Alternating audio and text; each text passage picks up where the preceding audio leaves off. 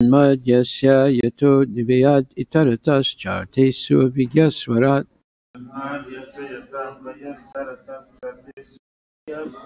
तेने ब्रह्महृदया अधिकवये मुयन्ति यत् सूरयः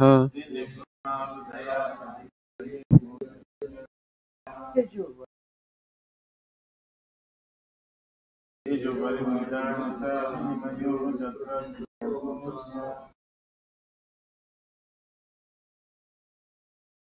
Surayaha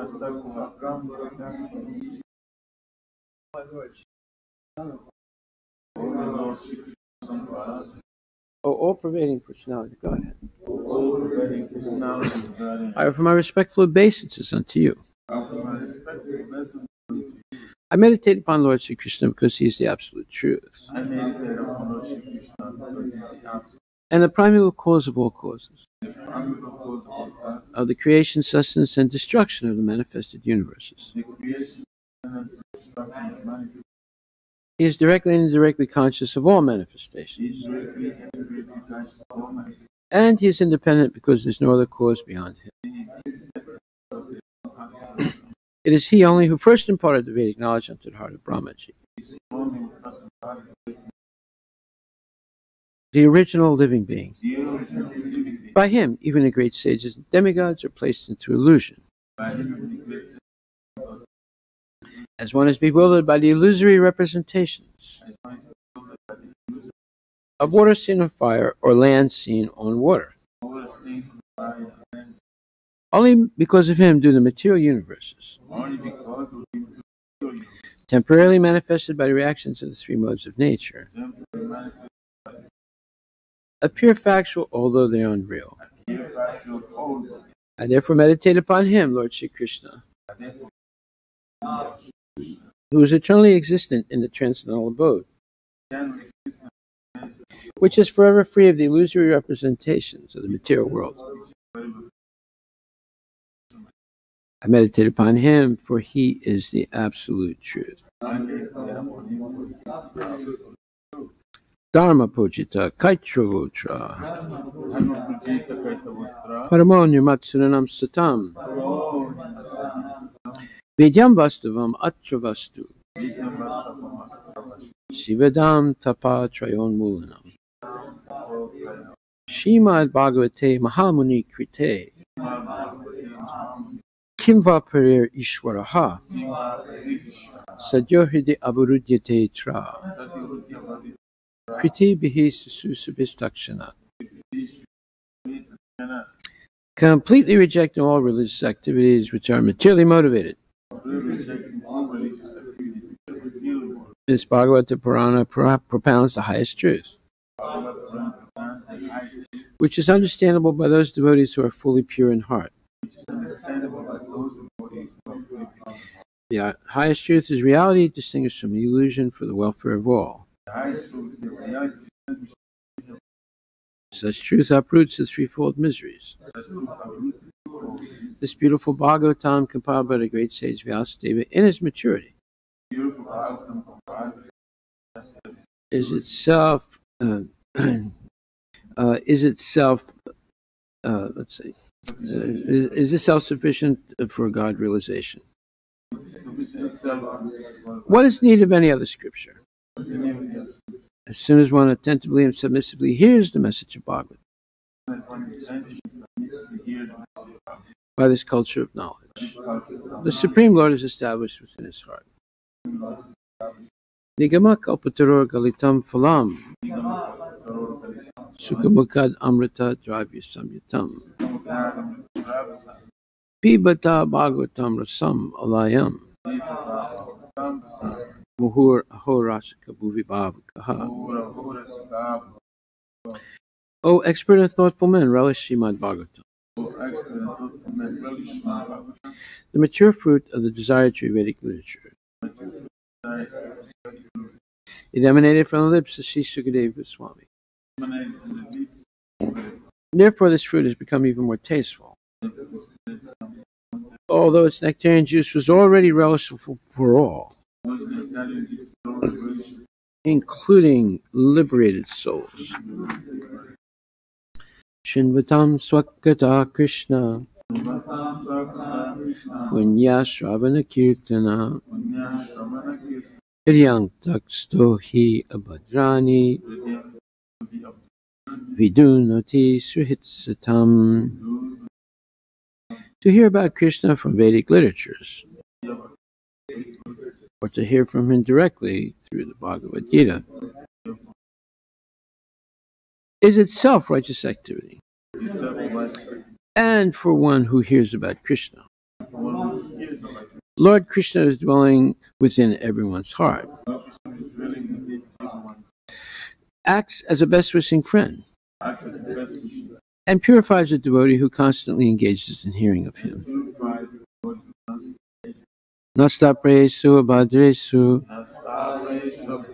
Nityam Bhagavata Sevaya Bhagavati Bhaktir Bhavati Naistiki. In this way, a devotee naturally develops his dormant transcendental knowledge. As he hears more about Krishna from the Bhagavatam and from the devotees, he becomes fixed in the devotional service of the Lord. Bhavo. Kamalobhadayaschaye. Cheta sitvam by development of devotional service of the Lord. I'm sorry, by development of devotional service, one becomes freed from the modes of passion and ignorance. Service. And thus, material lust and avarice are diminished. Evam prasana manaso. Bhagavat bhakti yogataha bhagavat tattva vijnanam jayate. When these impurities are wiped away, the candidate remains steady in his position of pure goodness, becomes enlivened by devotional service, and understands the science of God perfectly. Vidyate hridaya grantis chidyante sarvasamsaya shiyante chasikarmani just Evat Manishware. Thus, Bhakti Yoga severs the hard knot of material affection and enables one to come at once to the stage of Samsayam Samagram. Understanding of the supreme uh, uh, absolute truth, personality of Godhead. Understanding of the supreme absolute personality of Godhead. Therefore, only by hearing from Krishna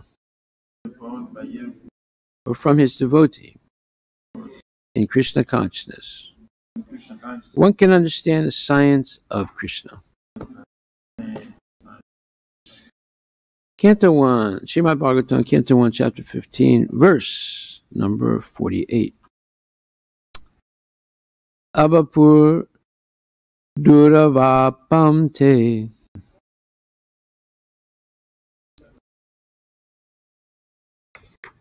Forty-seven and forty-eight. Sorry. Tadyano driktaya bhaktya visuddha tisana pare tasmin narayana pade ekanta matayo gatim avapu duravapam te asadbir vishayatmabi viduta kalmasa stanam virajinatmanaivahi Translation Thus, by pure consciousness, through the constant devotional remembrance They attain the spiritual sky, which is ruled over by the supreme Narayana, Lord Krishna. This is attained only by those who meditate upon the one Supreme Lord without deviation. This abode of the Lord of the Lord Sri Krishna, known as Goloka Vrindavana, cannot be attained by persons who are absorbed in the material conception of life. It, but the Pandavas, being completely washed of all material contamination, attained that abode in their very same bodies. Purport by His Divine Grace, A.C. Bhaktivedanta Swami Prabhupada. According to Srila Jiva Goswami, a person freed from the three modes of material uh, qualities, namely goodness, passion, ignorance, and situated in transcendence, can reach the highest perfection of life without change of body. Sri Sanatan Goswami in his Hari Bhakti Vilasa says that a person, whatever he may be, can attain the perfection of a twice born Brahmana by undergoing the spiritual disciplinary actions under the guidance of a bona fide spiritual master, exactly like a chemist, exactly as a chemist can turn gunmetal into gold by chemical manipulation.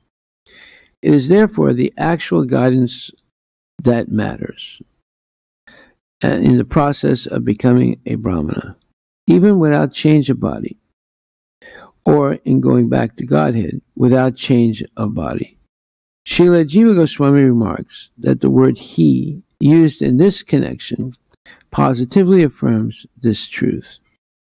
And there is no doubt about the factual position the Bhagavad Gita 1426 also affirms the statement of Srila Jiva Goswami when the Lord says that anyone who executes devotional service systematically without deviation can attain the perfection of Brahman by surpassing the contamination of the three modes of material nature, and when the Brahman perfection is still more advanced by the self same execution of devotional service, there is no doubt at all that one can attain the supreme spiritual planet, Goloka Vrindavana, without change of body, as we have already discussed, in connection with the Lord's returning to his abode without a change of body.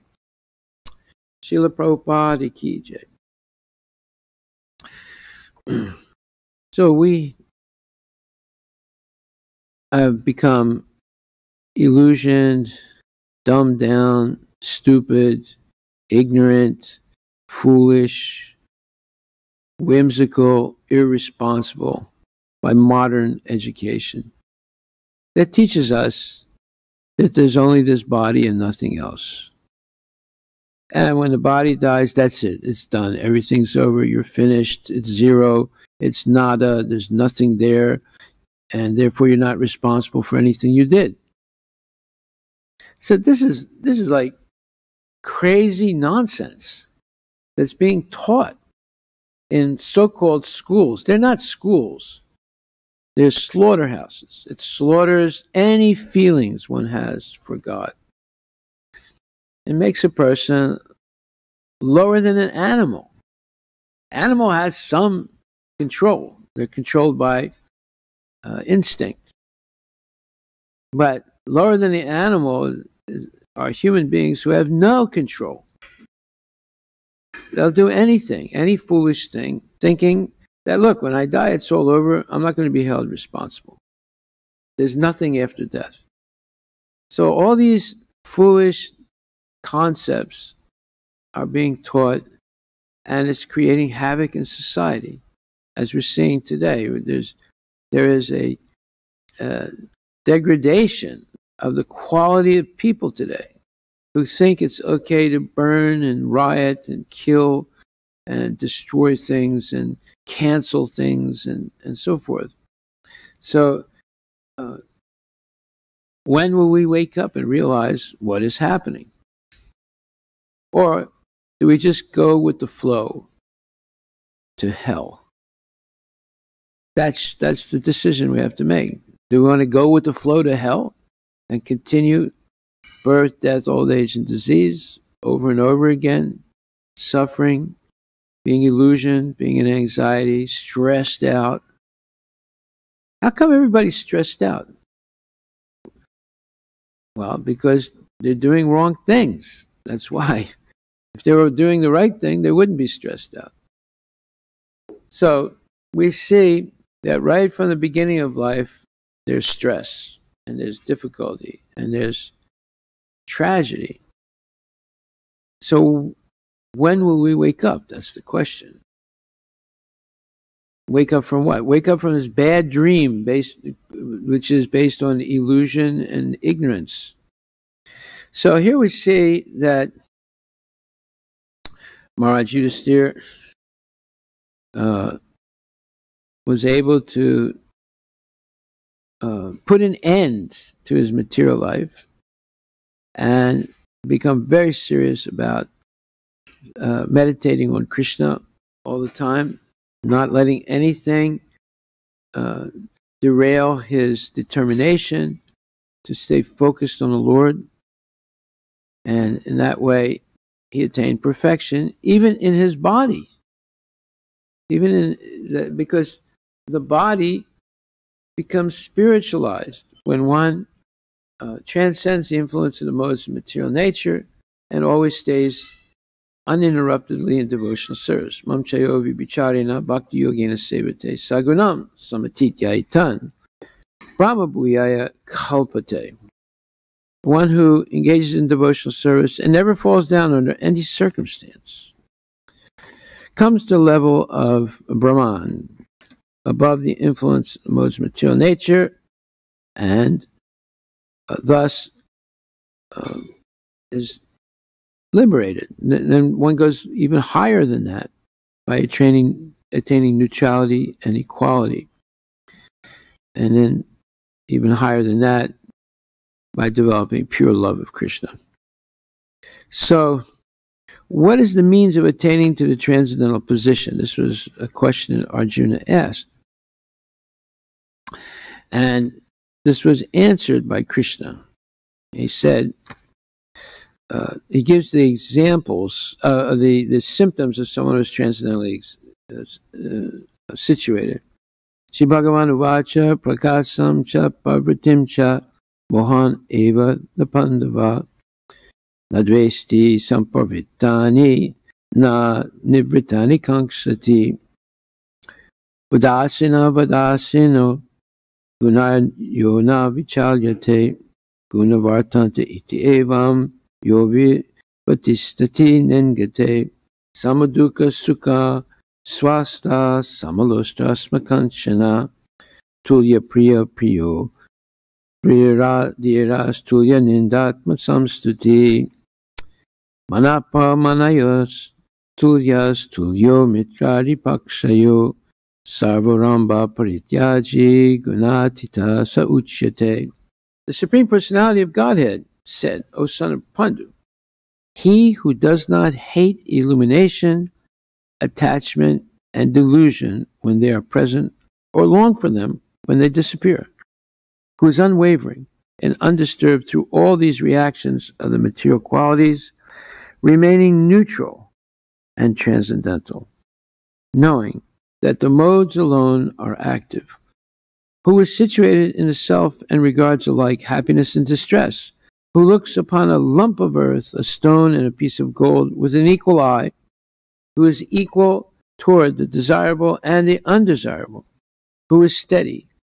situated equally well in praise and blame, honor and dishonor, who treats alike both friend and enemy, and who has renounced all material activities, such a person is said to have transcended the modes of nature. So these are the qualities by which you can recognize if someone is still under the throes of nature or have, have transcended them. so this is something desirable. And because of that, Jivan Mukta Sauchyate, one becomes liberated even in this world. And even though one has a material body, it becomes spiritualized by the constant engagement in devotional service and especially by constant contemplation of Krishna and, and remembering his teachings and following his te- teachings. So, anyone who executes devotional service systematically without deviation can attain the perfection of Brahman by surpassing the contamination of three modes of material nature.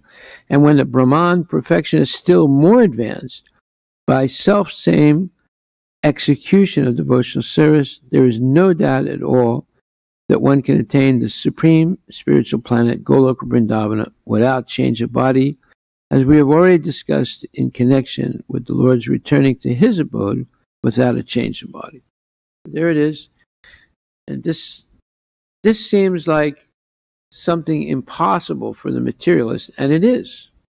But for the devotees, it's very possible if we believe it, if we follow it, if we practice it, if we uh, are determined not to be deterred in in uh, uh, from devotional service by any false arguments or false philosophies or by force by demons trying to stop us. No one can stop a devotee because even if you're tied up and in jail and in solitary confinement, you can meditate on Krishna and still be liberated. So there's meditation upon Krishna as as opposed to meditation upon sense gratification should be our goal in life. Everyone else is meditating on sense gratification. Right?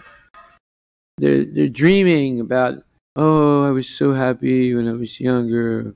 Oh, I wish I had a, a uh, Hava Mahal, a palace in the sky. Well, there's no such thing as Hava Mahal a palace in the sky. But people are dreaming, oh, I, I can fly around in my, in my paradise, or I can be like uh, these movie stars who are going to take the first uh, flight to outer space by SpaceX, uh, Elon Musk's SpaceX rocket. It's a rocket airplane. They're going to go up 300 miles into space and they're going to pay $120,000 for that ride. So you're paying $1,200 to go to India. They're going to pay $120,000 to go up 300 miles into space. And they think, oh, I went into space. That's, it's a joke. The whole thing is a joke. It's all nonsense. But people like nonsense. That's the trouble. They're attracted to nonsense. Prabhupada tells a story of one man who set up a little tent and put up a sign, imitation dog pachas paisa. So there's a big line of people, like 100 people waiting, and then when they go in and they see this, this man inside uh, acting like a dog, roof, roof, and they come out holding their stomach laughing, like that, you know.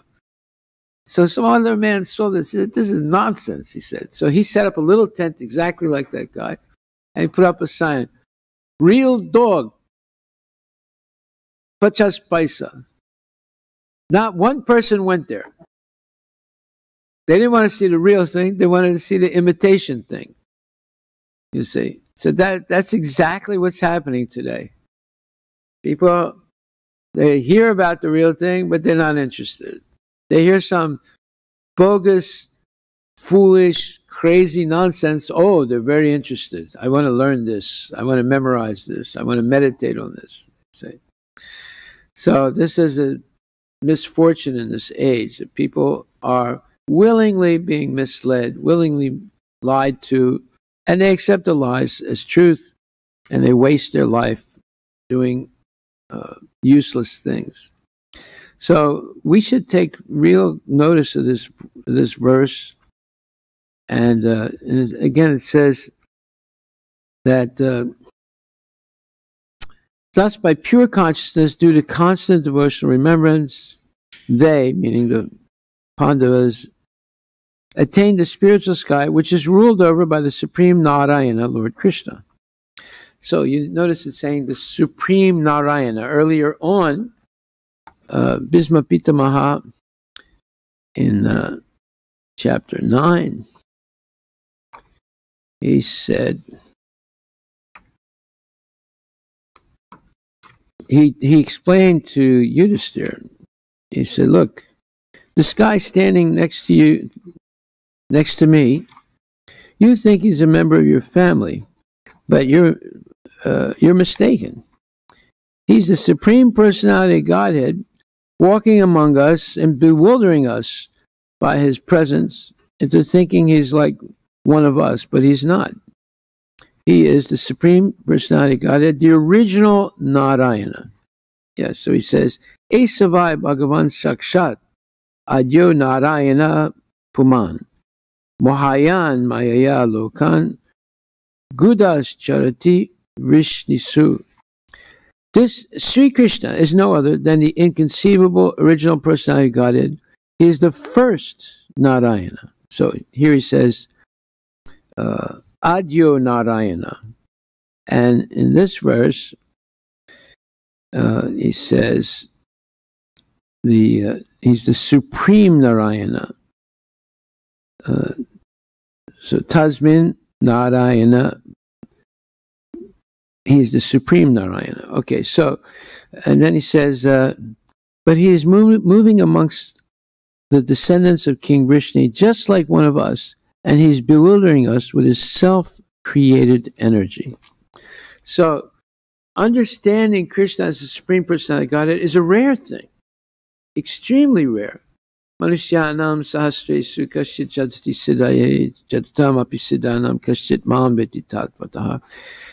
One person out of hundreds and thousands, millions of people will actually understand who Krishna is. But if you regularly hear Srimad Bhagavatam and Bhagavad Gita, you can understand uh, rather quickly who Krishna is if you hear with faith and you hear regularly. Because our problem is it goes in one ear and comes out the other ear. So we have to constantly be letting it come in one ear and going out the other ear, unless you want to plug that other ear with a cotton cloth, you know, to hold it in. So this regular hearing is necessary. Just like in elementary school, we learn that 2 plus 2 equals 4. And in our college calculus course and differential uh, equation course and advanced uh, uh, math courses, we also hear 2 plus 2 is 4. But our understanding of 2 plus 2 is 4 in college is more profound than our understanding in elementary school that 2 plus 2 is 4.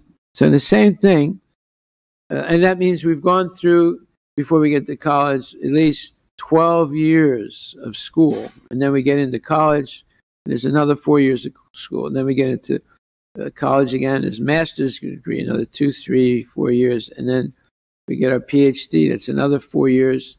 So at least 20 years of education. And by that time, we understand two plus two is four but very profoundly.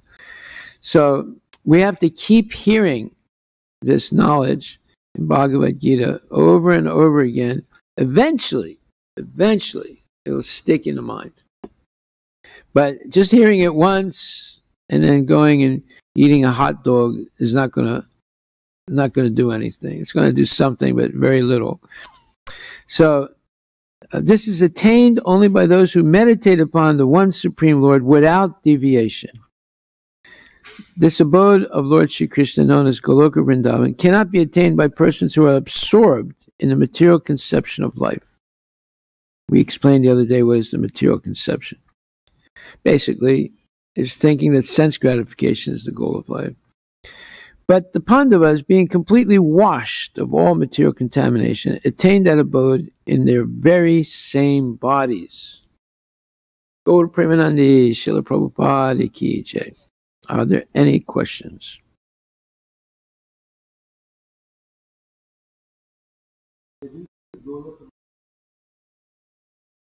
Yeah.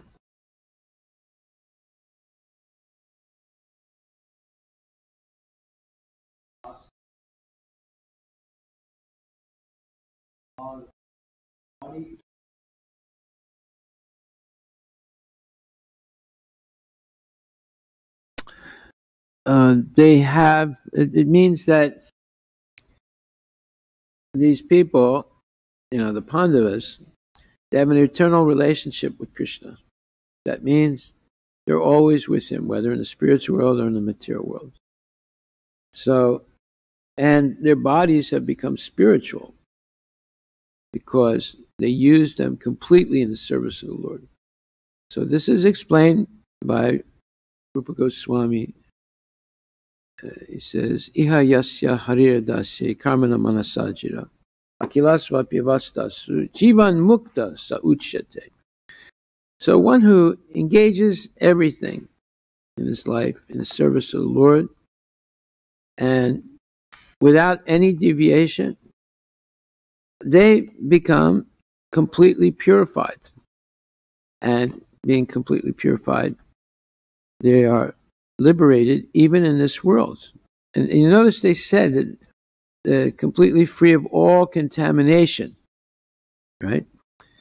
So this is explained in Bhagavad Gita also uh, in the four in the fifth chapter, where it says the same verse, Bhakti Rasamrita Sindhu 1.2.187. A person acting in Krishna consciousness, or in other words, in the service of Krishna, with his body, mind, intelligence, and words, is a liberated person even within the material world, although he may be engaged in many so called material activities. He has no false ego, for he does not believe that he is this material body, or that he possesses the body. He knows that he is not the, this body, and that this body does not belong to him. He himself belongs to Krishna, and the body too belongs to Krishna. When he applies everything produced of the body, mind, intelligence, words, life, wealth, etc., whatever he may have within his possession, to Krishna's service, he is at once dovetailed with Krishna, he is one with Krishna, and he is devoid of the false ego that leads one to behave that he is in the body, etc. This is the perfect stage of Krishna consciousness. This is uh, Bhagavad Gita 5.11. Kayana manasa kevalar indraya rapi yoginat karma kurvanti sangam tyakvatma sudaye. The yogi is abandoning attachment act with body, mind, intelligence, and even with the senses, only for the purpose of purification. So we notice it says, but the Pandavas, being completely washed of all material contamination, attained that abode in their very same bodies. So we, the way you get completely washed of all contamination is to completely engage in devotional service and not be deviated from it, even for a second. Then you become completely washed. Okay? Haribol. And it's in the Bhagavad Gita also. Any other questions?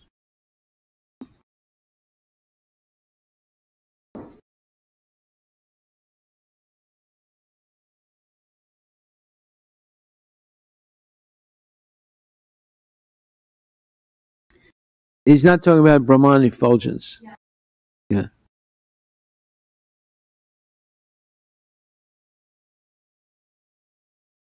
Self same means meaning the same devotional service. So more advanced means you attain equality and neutrality. That means you realize you're part and parcel of Krishna. That means equality. You're not equal to him, but you have the same qualities, right? But in minute quantity.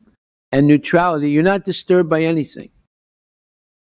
Now, this is explained in Shrimad Bhagavatam. We've already read it. I'll, I'll, I'll just show you where it is. One second.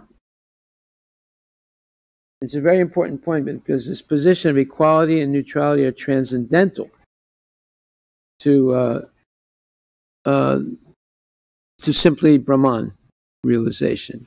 It's a more advanced stage, and second.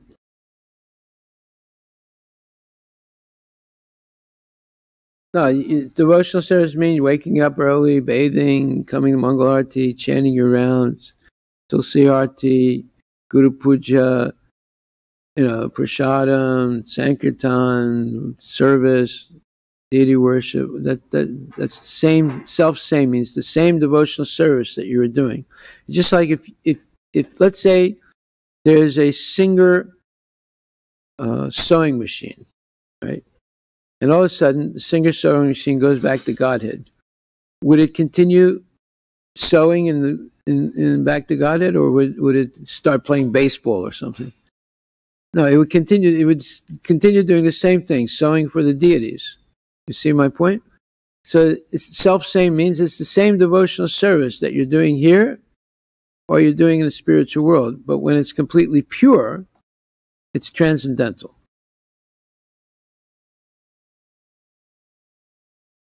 Brahman means he becomes free of Sochati and Kanksati becomes free of the influence of the modes of material nature, of lamentation and hankering.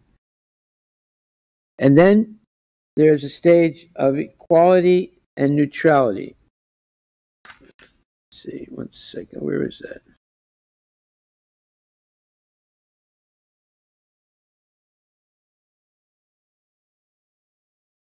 Well, okay, so Brahmabhuta Prasanatma Na sochati na kanksati. Samak sarve subhutesu. That is called uh, equally uh, acting equally with all living entities. Now, why? Because you see the presence of Krishna uh, in the uh, in the body. Okay, so Shrimad Bhagavatam 159. Oh, 1.5.9. Okay. Shrimad Bhagavatam 1.5.9. Let's see what it says there.